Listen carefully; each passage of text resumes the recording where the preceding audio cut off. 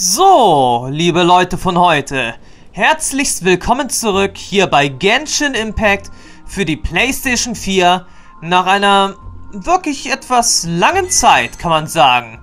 Denn nun, wie man ja sagt, über uns jetzt eben sehen konnte, ist jetzt ein neues Event am Start. Nämlich das zweite Laternenritual, der feurige Glücksstern und Co. Im herrlichen Mondschein tanzt der Schatten der Laterne. Die fallenden Blütenblätter, Schiff und der Mond. Geht zum Jadegemach. Überall, überall geht zum Jadegemach hin. Denn das neue Laternen-Event Flüchtige Farben im Flug ist jetzt seit einiger Zeit aktiv. Ebenso natürlich wieder Anmeldebonus. Möge das Glück dir Holz sein. Wo man insgesamt zehnmal das verwobene Schicksal kriegen kann. Ziemlich gut. Die Windflucht von Mondstadt. Naja, ist immer noch für 15 Stunden aktiv. Probelauf. Ah ja, Probelauf Song Li. Song Li. Ganju. Xiangqiu. Beidou. Und Yanfei. Ja, ja. Aber hierbei, was uns, er sagt jetzt interessiert, sind natürlich die flüchtigen Farben im Flug. Das zweite Laternenritual. Hier in Genshin Impact. Achso, jetzt er sagt noch ein paar Erinnerungen. Ist er sagt jetzt auch nicht gerade sehr notwendig. Aber hey. Aber hey, aber hey, sage ich dazu dann jetzt mal ganz schnell. Das zweite Laternenritual von Liu beginnt also. Allerdings äh, weiß ich jetzt nicht so genau, welche, welches Event sollen wir jetzt als allererstes beginnen.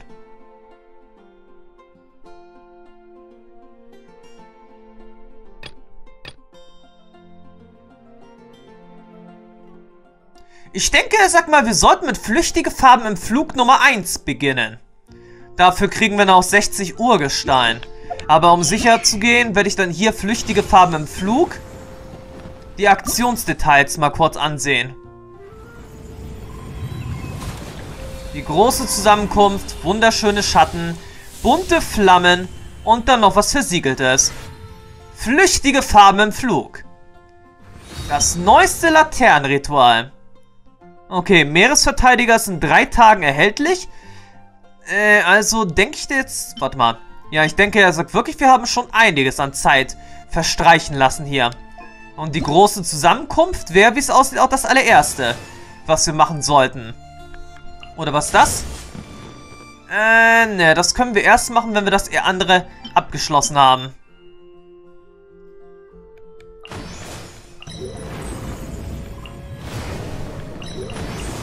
Oder können wir das hier auch machen? Zum Auftrag.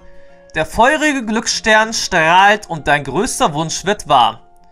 So wie das der bisher aussieht, ist das jetzt der wirklich das erste, was wir machen sollten. Ein neues Event, ein neues Event. Darf man jetzt hier nicht verpennen? 16 Tage Zeit, haben wir dafür jetzt noch hier. Das finden wir sehr fein. So verstreichen wir nun keine Zeit ja mehr. Und das Meer erwartet uns sowieso auch noch hier. Aber erst in vier Tagen. Who would have guessed that rebuilding the Jade Chamber would draw out such a massive monster? Oh, for a second there, Paimon really thought the Jade Chamber was gonna be ruined again. Oh, but it's all over now. Who knows if the Lantern Rite can still go on after an incident like that, though. Let's ask Lady Ningguang how things are shaping up for the festival this year. Ja, machen wir es mal. Aber da fällt mir jetzt gerade eine Sache noch auf. Aus irgendeinem Grund haben wir noch Xingyang im Team drinne.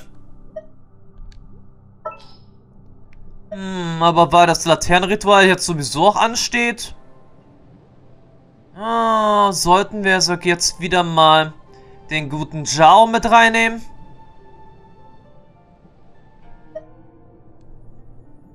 Ach, ich denke mal, Rosaria ist schon passend. Sie ist nun wirklich diejenige, die am meisten Schaden unserem Team macht.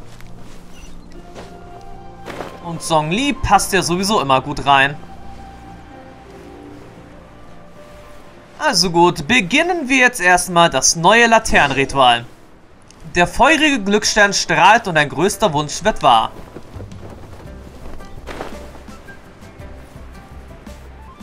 Es dauert aber heute wirklich einiges an Zeit, bis hier alles mal nachlädt.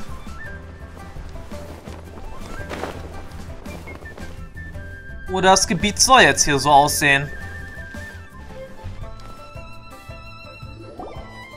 Send this report to the Ministry of Civil Affairs and have them delegate each of the tasks on the list to the appropriate departments. Also, be sure to tell them that though the lantern rite may be complicated, everything must be done properly. Hello, Lady Ningguang. It's us again. Äh, stören wir dich? No, of course not. You are my honored guests. And given the looks of you two, I presume that you're here to celebrate the lantern rite? That's right. So what's on the agenda for the festival this year? As always, there will be a variety of activities taking place. Oh, but there is one of particular interest. The Ministry of Civil Affairs is planning a fireworks show this year. It should certainly be worth your time. Releasing Mingxiao lanterns has always been at the heart of the Lantern Rite. But with all that has occurred in Liyue as of late, I think the people of the city need something to warm their hearts. A feeling of everyone coming together in solidarity. So, I believe that this year calls for a celebration of particular magnificence, something that would be closer to the hearts of every citizen. We are currently in the process of placing fireworks at various locations all throughout Liyue. We shall choose a timely moment during the festival to set off all the fireworks in unison, allowing the sparkling lights and excitement to resonate with the hearts of the people. Fireworks? But we've already seen fireworks in other places before. Is there something special about the fireworks in Liyue? Fireworks were originally developed alongside many other inventions here in Liyue. When our ancestors first created fireworks, they were originally known as firecrackers. Their bright flashes and loud sounds were often used for warding off beasts or as warning signals to other people. In those days, it was difficult for people to contact one another while out farming the land, so they would carry firecrackers with them to give signals when necessary. But people's lifestyles began to change after Leo Harbor was founded. They no longer had to travel out of town to tin the fields anymore, so the use of firecrackers for emergencies also began to dwindle. But through our local customs, the pioneering spirit of the firecrackers has been passed down to this very day. We made improvements to firecrackers and began setting them off during the Lantern Rite to commemorate the tenacious spirit of our ancestors. Tja, das ist Liu, nicht übel. Wow. Everything has so much history in Liyue. As I'm sure you already know, everything on this land accumulates history and value as time passes. That is the nature of Liyue. I've left Kuching in charge of the fireworks show. If you're interested, why don't we pay her a visit together? Tja, wir lassen es gerne knallen. Der feurige Glücksstern strahlt und ein größ größter Wunsch wird wahr. Geh zu den Feuerwerkstand von Liue. Ja, das ist ja wirklich auch schon einige Jahre her, wo ich ja, sag mal, ein Feuerwerk gezündet habe. Hm. Das letzte Feuerwerk, was ich, glaube ich, mal gezündet habe. Obwohl eigentlich auch noch nicht mal richtig. Autsch. Das hat jetzt äh, weh. Aber das letzte Feuerwerk, was ich ja so genossen habe, war jetzt, glaube ich, vor zehn Jahren, oder? Nein, er sagt doch ein bisschen länger her. Hm, länger als zehn Jahre ist es her, wo ich ja, sag mal, draußen war und ein Feuerwerk mir ansah.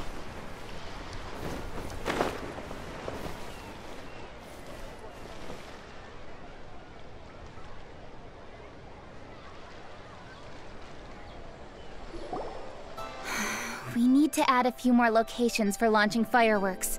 The show has to be visible all across Liyue, not just in the city. They celebrate Lantern Rite in Jingsa Village too, you know. but, Lady Kuching, what about our budget? The budget is exactly what it's meant to be. It's the necessary amount of funds to properly carry out a task. If you think the current budget will not suffice, then we'll simply have to apply for more funding from the Ministry of Civil Affairs and wait for their approval. Our aim is to organize a memorable lantern rite. The budget is there just to facilitate planning. We mustn't lose sight of our goal. Yes, Lady Kuching. I understand. Good. And please remember, safety first. Oh, it's Ningguang and the Traveler. Good to see you. Are you here for the lantern right? Your timing couldn't be any better. The preparations are almost complete. Das hört man noch gerne. Und was macht Keqing jetzt hier? Auch ein paar Knaller zünden? I'm reviewing the positioning of the fireworks and double checking the relevant facilities. It's all in a day's work.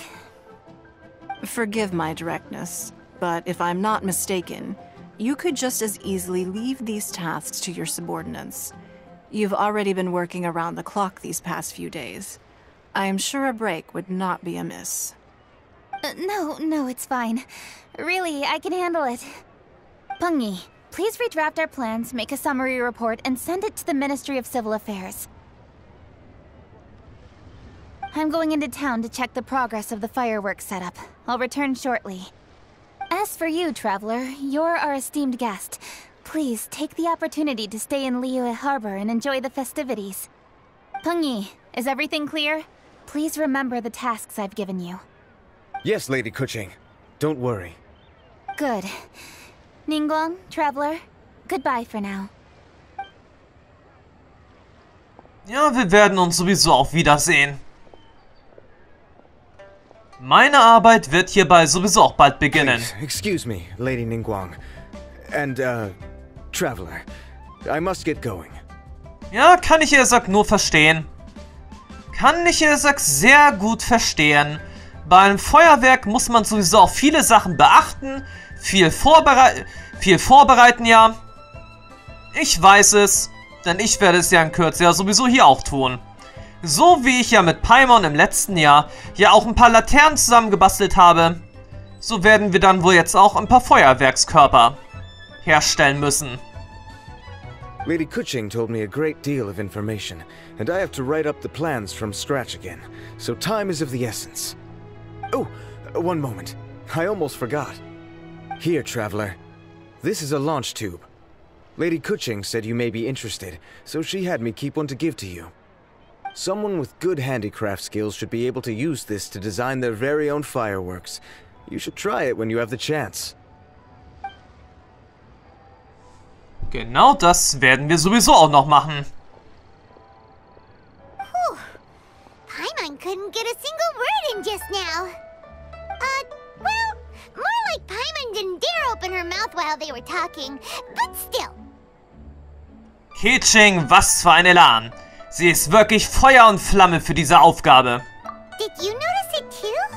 Lady Kuching is a lot more outspoken than she used to be. And she seems a whole lot busier too. Wonder why?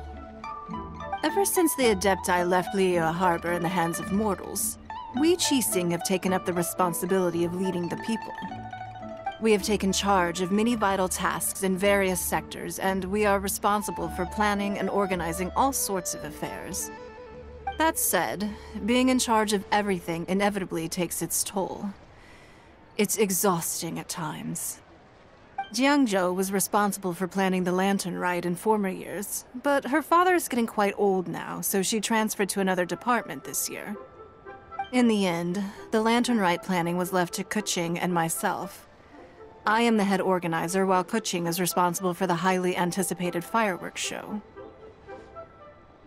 Such an important event should be entrusted to the most qualified candidate. Kuching is disciplined, yet passionate about her work, so she's naturally the best fit for the job.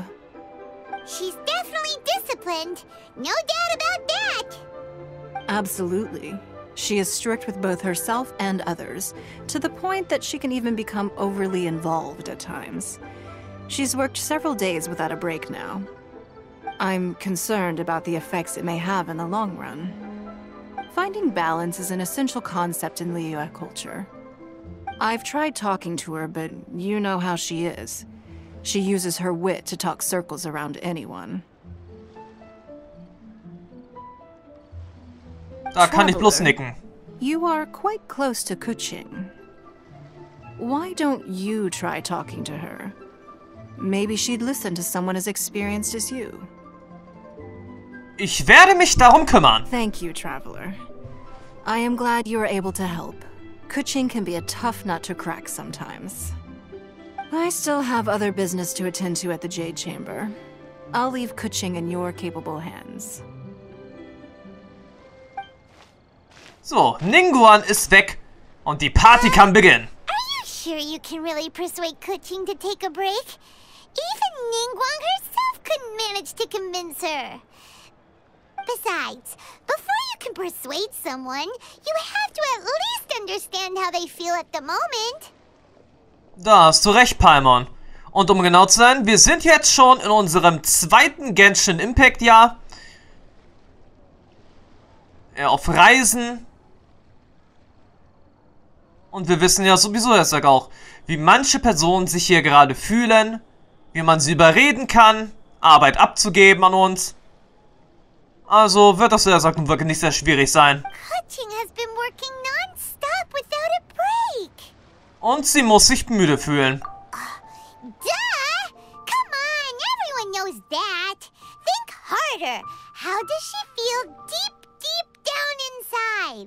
Duh!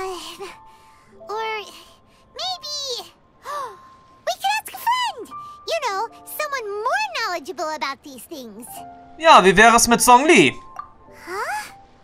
Zhang Li? Ja, er versteht die Leute aus Liue. Er lebt ja sagt sowieso schon am längsten hier. Oh, there's no arguing that. Zhang Li it is then. Hmm, Paimon thinks he's still a consultant at the Wangsheng Funeral Parlor. Let's go see if he's there. Ja. So, Song Li, jetzt haben wir dich hier schon mal. Aber jetzt erstmal rüber zum Bestattungsunternehmen Wang Sheng. Wir müssen verdammt nochmal ein Feuerwerk bald mal starten. Ein großes, schönes Feuerwerk werden wir dann hier mal starten. Wo wir jetzt gerade sowieso auch hier ein bisschen die Nacht am Start haben. Können wir dann jetzt schon mal sehen, ob wir das Feuerwerksrohr nutzen können? Platzieren. Feuerwerk herstellen. Was brauchen wir dafür? Ah, noch nicht versucht. Hm, noch nicht versucht.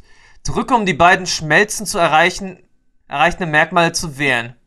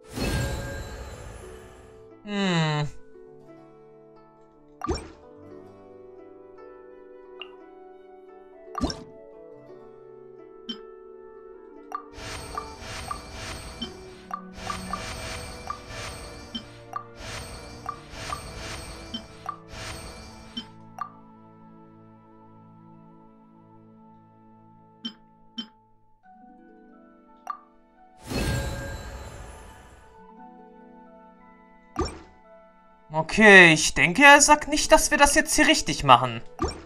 Aber wir haben bis jetzt nun wirklich noch gar kein Feuerwerk beisammen, was wir zünden können.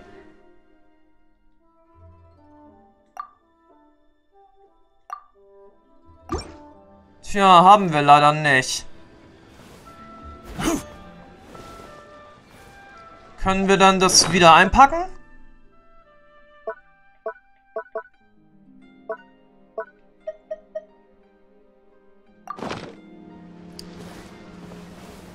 So wie es aussieht, können wir das jetzt erstmal nicht einpacken. Schade. Oder können wir es hier neu platzieren? Ja, wir können es überall hin neu platzieren. Das ist ja schon mal nicht schlecht.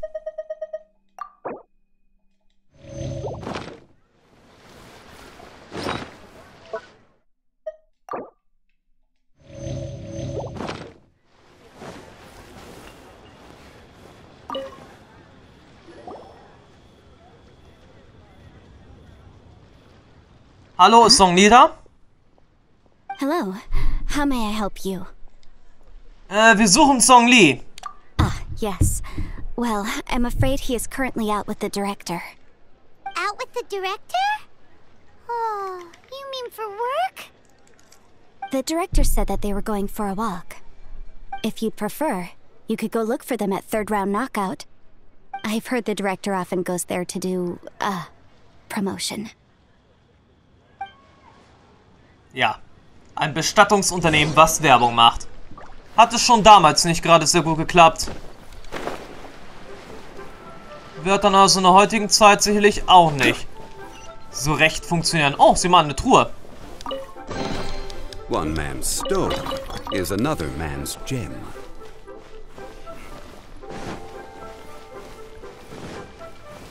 Ach, sieh mal an. Xiang Ling ist jetzt der Sack auch hier. Und genehmigt sich einen Becher. Zusammen mit dem Gott des Herz, Goba. Yum, yum, yum. Ooh, I am so full. Not another bite. Hats off to you, Xiangling. Serving the grilled fish with a dipping sauce is quite an innovative approach. The flavor is just to die for. That's my signature dipping sauce. I knew it would taste great. Hmm. Tempered Jueyun chili powder mixed with garlic paste and chopped scallions, then seasoned with salt, vinegar, and soy sauce, before finally sizzling in hot oil. This recipe may seem a bit crude, but is entirely hinged on the precise balancing of flavors and seasonings by the chef. Everything must be balanced just right. It is the consummate mastery of this balance that turns a humble dish into an exquisite one. Oh, that's quite the compliment, don't you think? I'm flattered. Thank you, Mr. Zhongli. And I thought I have a way with words. But you certainly take the prize, Mr. Zhongli. You are too kind, Director. Your eloquence is infamous in Liu Harbor. Oh, what's that? Oh, would you like to order something, Guoba? Oh, please, by all means, it's my treat. I'll just open a tab under Xiangling. Hey, are you guys talking about tasty food again? Oh, it's the Traveler in Paimon. What brings you to this side of town? Hold on, let me take a wild guess. Hmm, yes. Oh, you must be here for the lantern rite.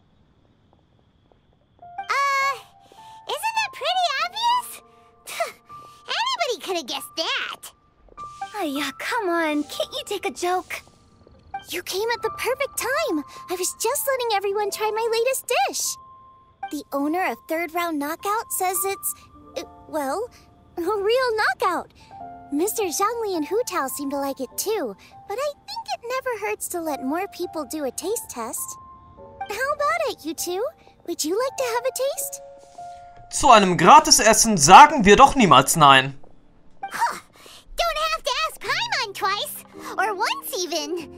Aber wir sind jetzt wegen Song Li hier. Huh? Y- You mean we're not gonna try any? Oh, fine. Let's get down to business. Ja, zuerst die Arbeit, dann das Essensvergnügen. We meet again, traveler.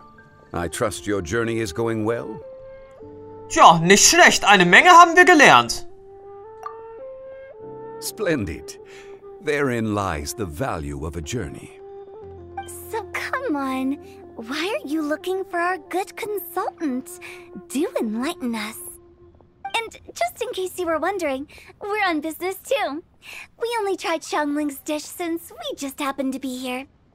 Business? What kind of business would the Wangsheng Funeral Parlor possibly have during a festival? Even during the most joyous of holidays, life still follows its natural course, does it not? Is that really so surprising? but there isn't a need to be alarmed. It's just a nice day today, and I thought we could go for a walk while doing a little promotion for our business. Oh, you could go ahead and chat away. Xiangling and I will go have some tea with the boss over there. Oh, Zhongli, please come get me when you're through here. Of course. I'll see you later, Director. Now then, Traveler. What brings you to see me today? Also, ich fasse mich kurz. Es geht um das äh, diesjährige Laternenritual und natürlich auch noch um Feuerwerk und um Keqing. Songli wurde die Sit- Situation von Keqing er erzählt. Yes. The Yuhang is honest, intelligent, and most diligent. She is capable of shouldering responsibilities that few others could. But everything has a balance, and one's Ga- health must certainly weigh in. Ja, ganz unsere Rede. Also, wie können wir sie umstellen? Yeah, everyone knows you're super knowledgeable. Paimon bets she would listen to someone like you. If I were still the mighty Rex Lapis, I might be able to help her see reason. But alas, I'm now nobody but an ordinary consultant. My words no longer carry the same weight as they once did. Besides, I am by no means close to the Yuhang. Taking the liberty to lecture her may just as easily produce the opposite of the desired effect. Oh, you're right. Uh, then what should we do? We could take a more subtle, indirect approach to the matter. Such as telling a story that resonates with her, containing your message conveyed within it. Such a story can be achieved by referencing topics from her daily life. The story could prove even more effective if you weave in something about someone close to her. Um, Paimon doesn't really get it. Wir sollten jemanden fragen, der Keqing gut kennt. Also fragen wir jetzt als nächstes mal Xiangling. I knew you'd understand what to do. well Oder auch done, nicht. traveler. Oder auch Go collect some source materials for your story. Of course, I can always provide you with my advice if needed. Once we have formulated the plot, you can tell the story to the Yuhang. Ich? You are on amiable terms with the Yuhang, which makes you the natural candidate. Oh, Paimon gets it. So we need to talk with people who know Kuching, right? So who should we start with? Greetings, everyone. Uh, I hope I'm not intruding. Huh? Oh, Lady Kuching. Trink erstmal eine Tasse Tee. I didn't expect to see you here. Thank you for all your assistance during the rite of parting. You are most welcome, Yuhang. It was the least I could do. Also, wollen wir eine Tasse Tee trinken? Why? And what's with your strange expression? Oh, I see. My apologies. I appear to have interrupted your conversation with Mr. Zhongli. Nein, auf keinen Fall. Setz dich erstmal hin und trink eine Tasse Tee. Kuching, are you here looking for us? Yes, I was going to ask you to introduce me to the Adepti.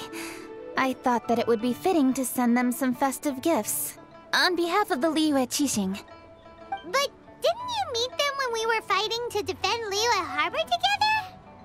You could just as easily go and find them in Juyun Karst. Yes, but we only met briefly on that single occasion. The Adepti may have already forgotten about me, and I'm concerned it would be imprudent to show up so suddenly. Which is why I thought it would be more appropriate to ask you to introduce me first. Kein Problem, aber hat Keqing Ganju noch nie gesehen? Unfortunately, Ganyu is on leave at the moment, so I'm unable to get in touch with her. I'm afraid I'll still require your assistance. Verständlich. You even have to run around delivering gifts in person?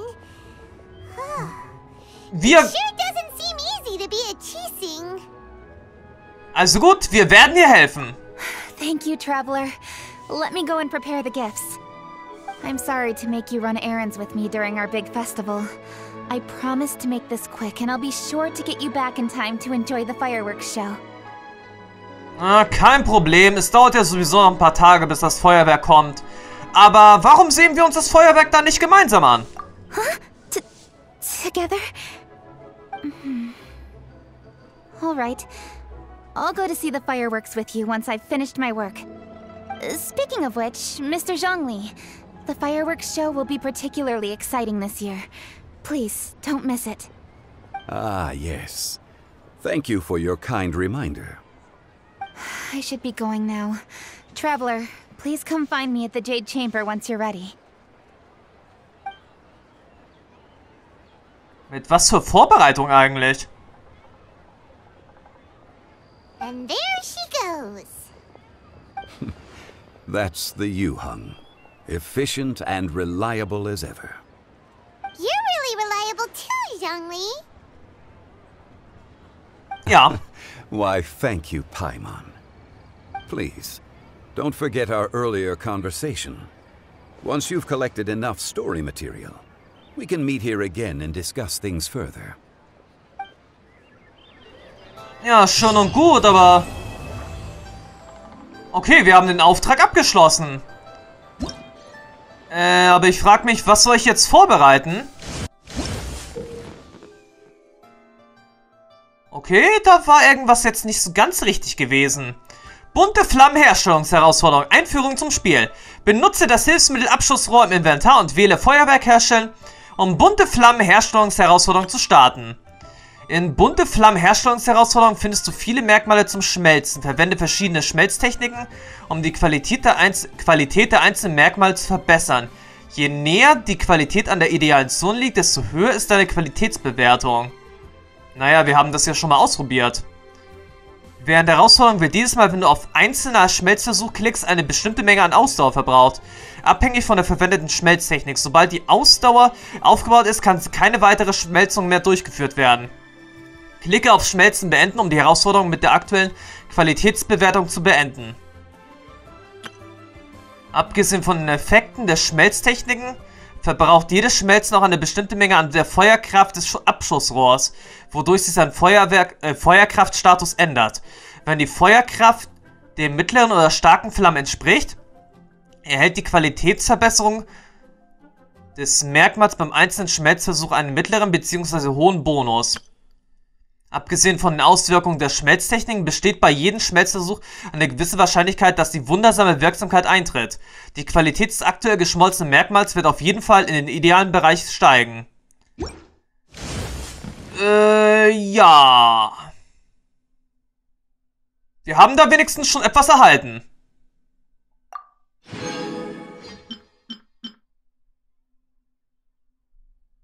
Ja, wir haben da auf jeden Fall schon einiges erhalten.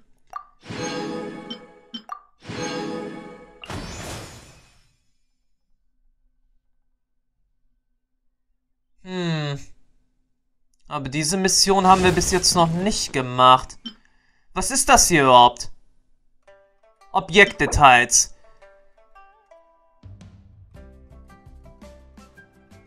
Ach, wir kriegen hier so ein Feuerwerk. Und ein Wohlstandstalisman. Das können wir dann sicherlich für irgendwas noch eintauschen. Da bin ich mir sicher. Aber für den ersten Teil, da müssen wir auch noch ein paar Sachen verändern. So, Meeresverteidiger, so wie es aussieht, kommt dann wohl, ja, die Frau von Oceal wieder zurück. Tja, und die große Zusammenkunft ist erst, wie es aussieht, immer noch am Start. Okay, da müssen wir jetzt mal kurz was nachschauen.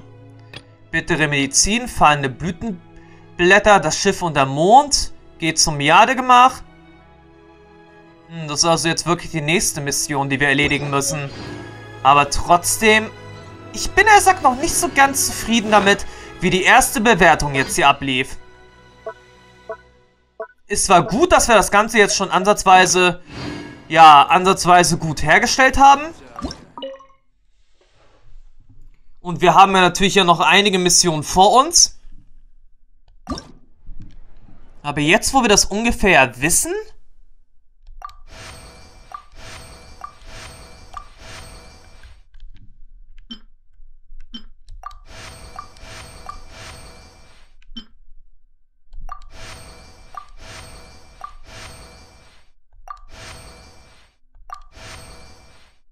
Hm, jetzt scheinen wir es im idealen Bereich zu sein. Schmelzen beenden. Es ist ein neuer Rekord auf alle Fälle. Dann können wir jetzt hier, Saki, auch nochmal kurz mal sehen, ob wir hier was Neues auch hinkriegen.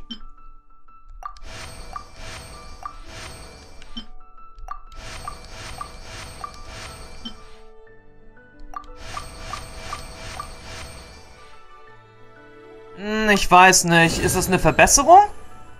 Ja, wir haben einen neuen Rekord hingekriegt.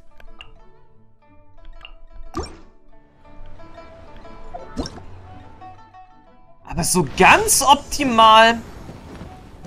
Ah, warte mal, wir haben jetzt hier noch was Falsches gemacht. Oder? Moment, ich muss erst mal sehen, wo haben wir denn jetzt eben die Belohnung gekriegt? Aktionsdetails mal kurz uns besorgen. So, hier die Feuerwerksgeschichte. Also hier oben haben wir dann jetzt also auch noch die weiteren Talismane und natürlich noch die weitere, äh, das weitere Feuerwerk gekriegt. Gut. Die silberne Nacht ist voll von Sternen. Das müssen wir jetzt auch noch irgendwie auf das nächste Level kriegen. So, glückliche Kameradschaften. Einladungskosten. Da will ich am besten ja sie holen. Aber dafür bräuchten wir noch einige Talismane.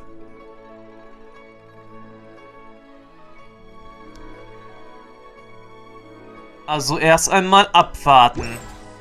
Aber trotzdem, das Feuerwerk herzustellen, ist jetzt der Sack noch einmal... Oh, sieh mal, Akribie. Die Qualität dieses Merkmals steigt mittelmäßig bis stark an und während eines einzelnen Schmelzvorgangs erhalten auch die beiden angrenzenden Artikel eine mittelgradige bis starke Qualitätssteigerung. Machen wir aber erstmal vielleicht eine flexiblere Antwort. Ach, das sieht doch gut aus.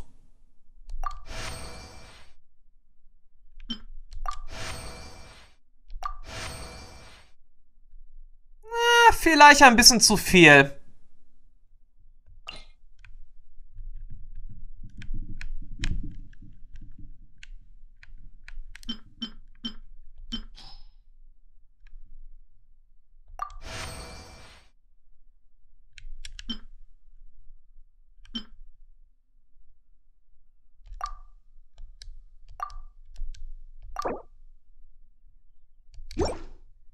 Okay, wir müssen das trotzdem noch mal kurz hinkriegen.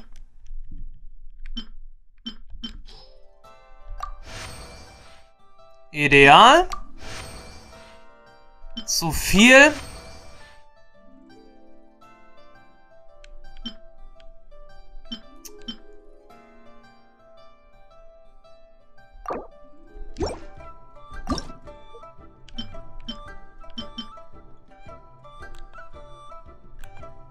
Okay, okay, okay. Was können wir da am besten machen? Entschiedene Kühnheit.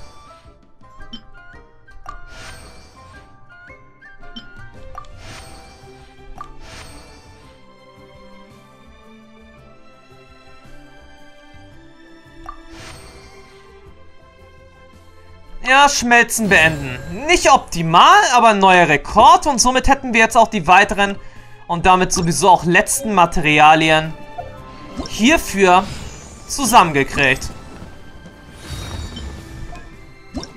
Aber das hätte man theoretisch doch noch besser hinkriegen können. Aber ich habe daraufhin jetzt wenigstens erstmal alles hier abgeräumt. Der zweite Teil, der braucht dann, wie es aussieht, noch ein bisschen. In 14 Stunden und in 4 Tagen ist der letzte Teil vorhanden. Gut, liebe Leute von heute. Gut, gut, gut. Was haben wir denn jetzt hier? Bunte Flammen. Äh, das haben wir eben gehabt. Okay, alles weitere wird nach und nach, wie es aussieht, freigeschaltet. Als nächstes käme dann also die große Zusammenkunft mit Beidou, dann sowieso auch mit dem Wellenreiter. Und dann sowieso weiteres 60 Urgestein. Warte mal, bunte Flammen haben wir jetzt schon gemacht, aber die große Zusammenkunft ist doch als erstes hier aufgezählt. Wunderschöne Schatten. Ja, das ist auch nur eine Kleinigkeit. Tja, sehen wir dann auf jeden Fall mal im nächsten Part mal nach, was wir dann, Herr Saki, noch, zu, noch so alles zu erledigen haben. Als nächstes, wie schon erwähnt, geht es dann mal ins Jadegemacht zurück. Und höchstwahrscheinlich werden wir mit dem Wellenreiter übers Meer, tja, ein paar Bahnen ziehen, schlendern, segeln, düsen, wie auch immer. Damit sage ich jetzt erstmal Tschüss, bis zum nächsten Mal. Bis dann und ciao zum nächsten Part von Genshin Impact mit der Laternenritual-Vorbereitung. Bis dann und ciao bis dann.